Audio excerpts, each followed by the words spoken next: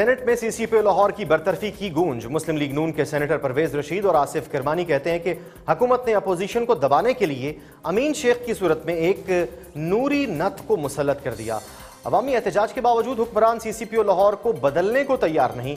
इंतकामी कार्रवाइयों के लिए आपको और भी अवसर मिल जाएँगे। इस सोच के खिलाफ हाकिम वक्त दीवार ना बना तो ऐसे वाकयात होते रहेंगे।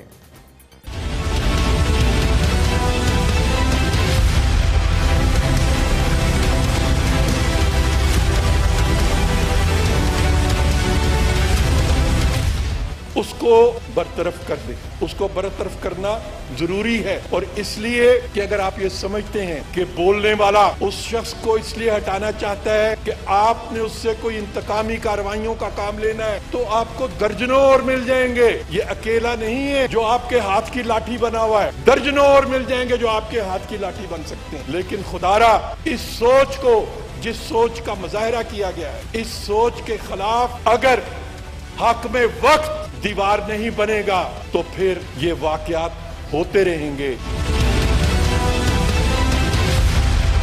एक बदनाम जमाना जिसकी फ़ाइल चीख चीख कर कह रही है कि ये करप्ट सीसीपीओ है। वो कहता है ये क्यों गई भाई? ये घर से निकली क्यों? ये इधर की बजाय इधर से क्यों नहीं गई? उस शख्स पर अदम एतमाद का इजहार किया जाता है। मैं लाहौर से बिलोंग करता हूँ। आपने अपने मजमूम मकासद के लिए ऑपोजिशन को दबाने के लिए आपने पंजाब में उमर शेख की सूरत में एक नूरी नत मुसलत कर दिया है, जो कहता है कल अदालत में जाके माफ़ी माँगता है और बाहर आके ढीटों की तरह मुस्कुराता है। आपने वीडियो क्लिप देखे उसके? मुझे सीसीपीओ लाहौर की माफ़ी कबूल नहीं है। हमें उसका इस्तीफा चाहिए, जो ये कहता है बाहर निकल के अदालत से कि मैं सीधा कर देगा। और उस पर हुकूमत है कि खामोश है। वो कहते हैं कि जनाब, ये मेरा बेस्ट मैन है।